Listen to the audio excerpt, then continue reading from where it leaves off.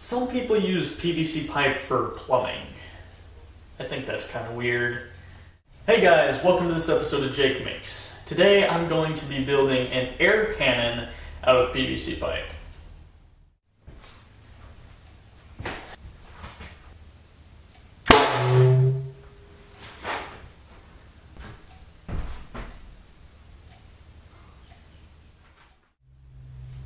It's gonna be pretty cool.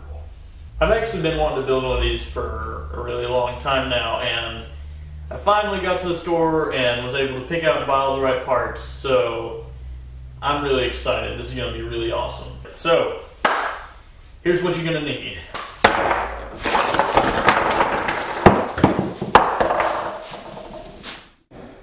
I went out to the store and bought a two foot, well, it was two foot. I cut about four inches off, so this is now a 20 inch piece of 2 inch diameter PVC pipe. This is going to be my air tank. Got some 3 quarter inch PVC pipe once again, uh, 2 foot section. Home Depot sells PVC pipe in 2 foot sections. It's a lot uh, more economical than having to buy a whole piece and not use all of it. You're also going to need a 2 inch diameter uh, end cap end of our combustion chamber. Logically. Gonna need a 2 inch straight coupling, like that. A, what is this? 2 inch to, anyway, it goes in the coupling like that. And then it has another piece, what's this, 2 inch. I need to like label these things with their names, that'd be real helpful. This is a 2 inch goes on one end of the coupling, and then this piece goes from two inch to one and a half, and then this piece here goes from one and a half down to a threaded three quarter female adapter. I think that's a female adapter.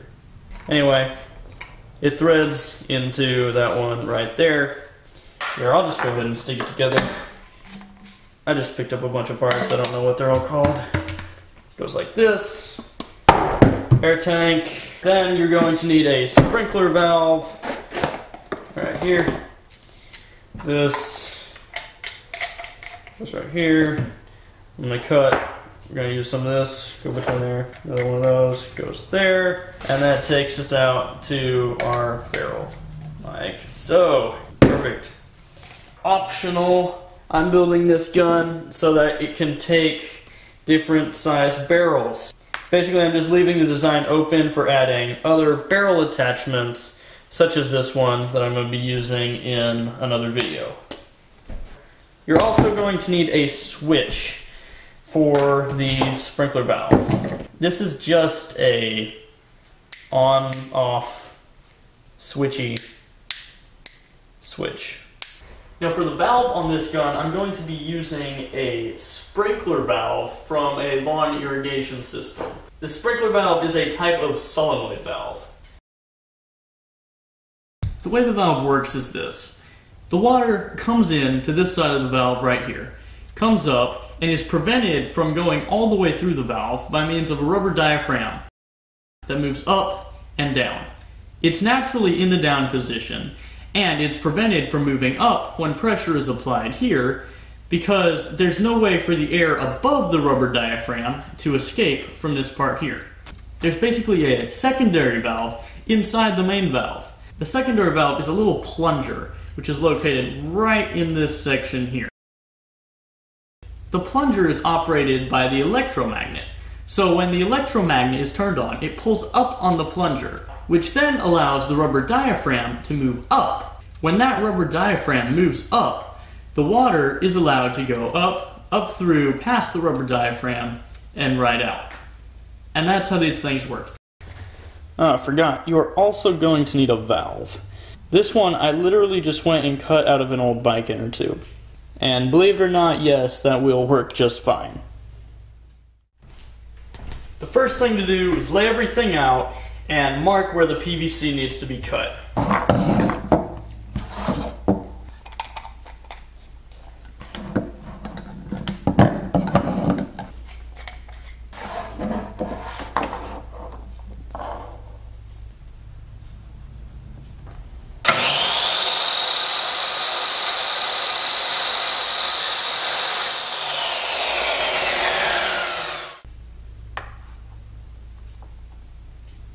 The next thing we need to do is deal with our end cap. The end cap is where I'm going to be putting my valve. So we're going to need to drill a hole right in the middle of it. So we can slide this thing up from the bottom right to the top.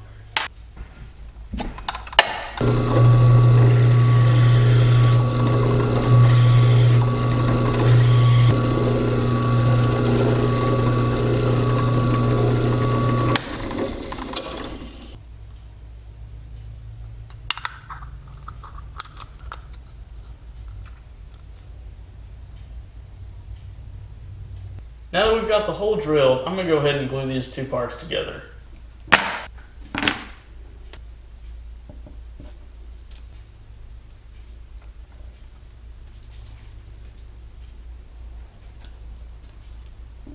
just going to coat the whole top of the inner tube with JB Weld.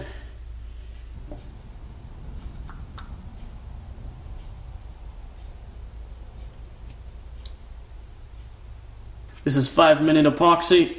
I got another little piece of PVC and I'm just holding it down until the epoxy sets.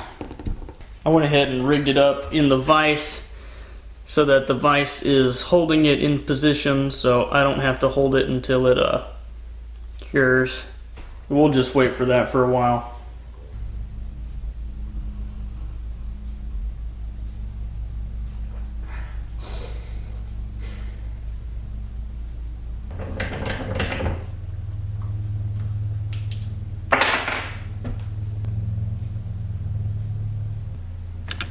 All right, got everything cut down to size. All my parts are correct.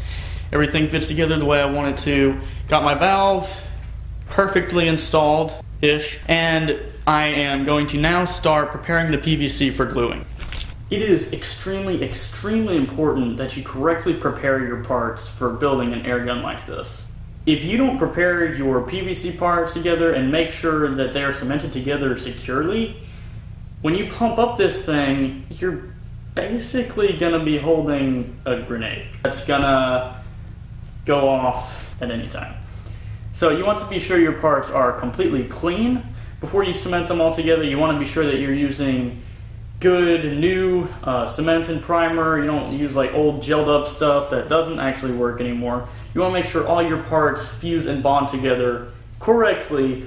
Otherwise, the parts may not take the pressure and you end up killing yourself. So yeah, we're gonna make sure we clean everything really well. I've got some denatured alcohol that will help us get the parts as clean as possible before we go ahead and prime and glue them together.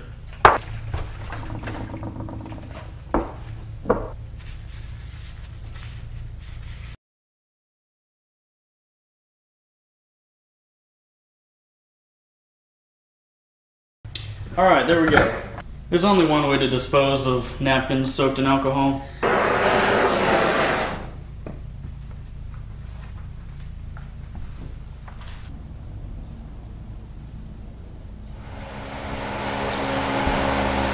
First I'm going to prime everything. Sorry about the noise, that's my fan.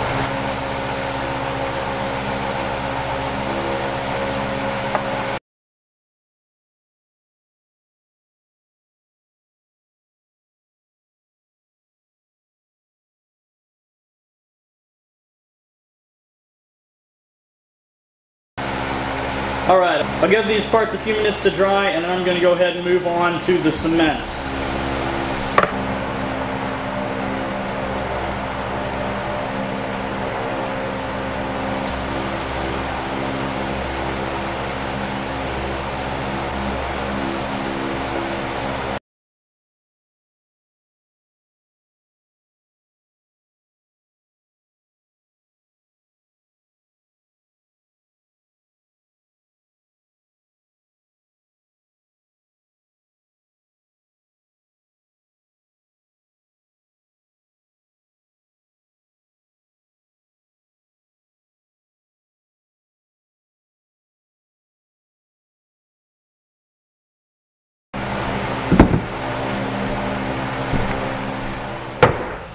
Everything's glued up now, and I'm going to go ahead and assemble the whole gun together. Uh, for these threaded parts here, uh, for connecting the valve to the rest of the air tank, I'm going to be using some of this thread sealing tape here to make sure we get a good seal. Otherwise it'll leak.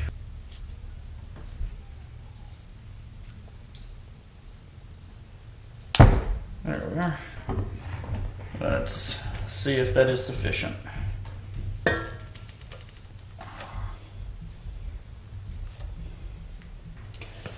This is a one directional valve, so we see we've got arrows showing me which side the air or the water supply needs to come from. Don't want to get that part wrong, otherwise the valve would not work. Nice and tight. There we are.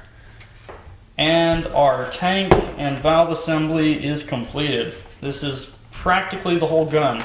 The only thing left now is to work on my trigger mechanism here and wire up the solenoid. The solenoid can be powered by a simple 9 volt battery. It can also be powered by a drill battery like this. This is an 18 volt battery as it says on the side. Go ahead and uh, here I can show you. Hook up terminal, one on this side, one on this side. You can hear the valve opening and closing. Same thing with a 9 volt battery. I'm going to power this with just a 9 volt battery. I could use something like this, but it's too bulky and a 9 volt battery will work just as well. I have a switch here, just a simple, simple on-off toggle switch. I think that's a toggle switch, right? It's a switchy switch, and um, I'm gonna wire this thing up to the 9 volt battery and to the solenoid. And I'll stick that in here somewhere. Okay, I just decided I want to add a handle in here somewhere. So I got a little scrap piece of 1 by 4, 1 by 6 maybe. 1 by 4 and a half? What the? Uh, it's 1 by 6 that was ripped down. Never mind.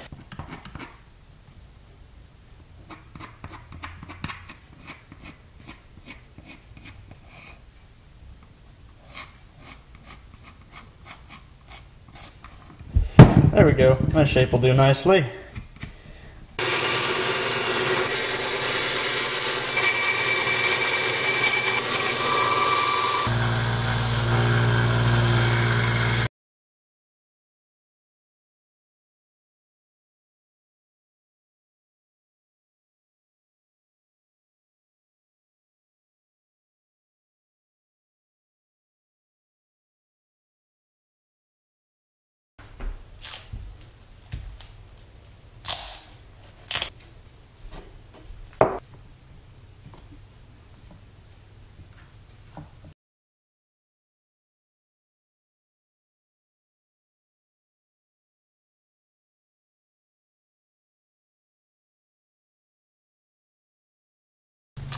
Alrighty, now to wire this bad boy up.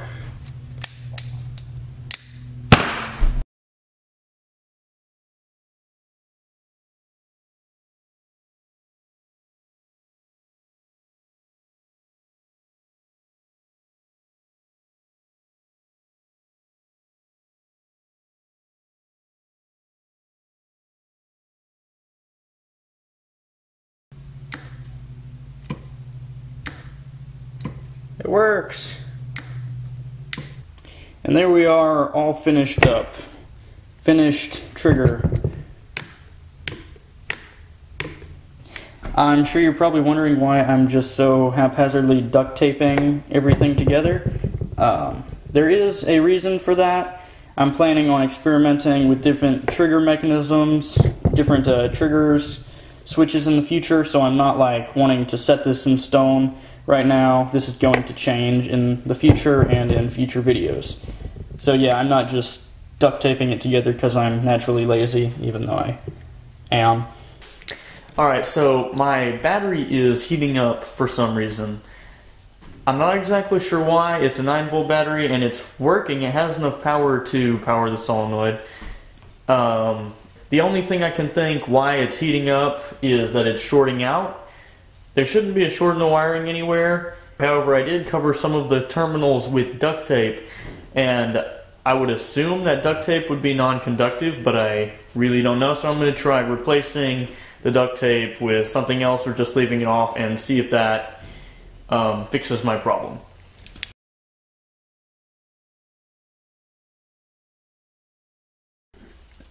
Never mind the two previous clips before this, I uh, wired it wrong. Ah, stupid idiot. Here's a schematic of what it's supposed to look like. Very, very, very simple. Simplest circuit you could possibly imagine. Super simple, right? You could not mess that up, right? Wrong. This is how I wired it. Basically, I'm causing it to short on the switch. Like, how could I have wired it that wrong? Like, how could I have wired it that wrong? Brilliant idiot that I am. Mm. I'll spare you the trouble of me rewiring it. So just skip straight to first testing shot. 60 psi without a projectile. First test shot.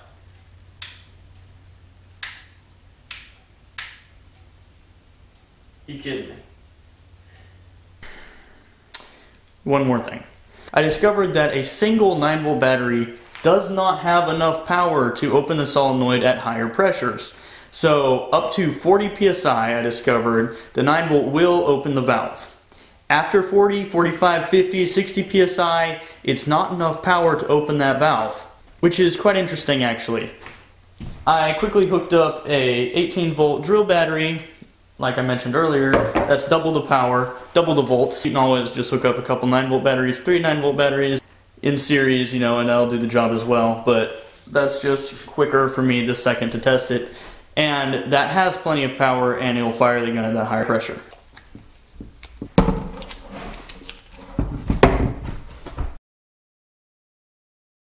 All right, 60 psi. First, okay, well not really first, but first test shot. Nothing, no projectile, 60 psi. Ugly as heck. it works! Finally! Yes. Alright guys, this video is getting really long. I'm gonna have to cut it short. Be sure to subscribe so you do not miss part two of this where I actually go and fix all this and then test out this gun thoroughly and shoot it at a bunch of crazy stuff. It's going to be a great video. Don't miss it. I'm also going to make a bunch of other barrel attachments so I can fire a large number of things and actually make this air cannon more like a cannon. Because right now it's a rifle and it's not designed to be a rifle. I already have a rifle. I'm building a cannon. Anyway, I'm going to shoot one more thing for you though. I'm not much for conventional ammo, so I'm going to shoot a wad of toilet paper at a cardboard box. 80 psi. Ready, set, fire.